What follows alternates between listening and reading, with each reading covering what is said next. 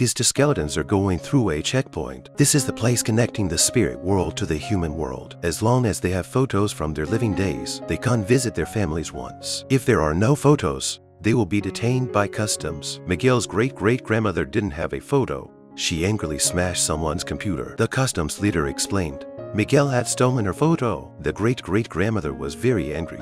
Because Miguel, taking the deceased guitar, was cursed. That's how Miguel could come to the spirit world.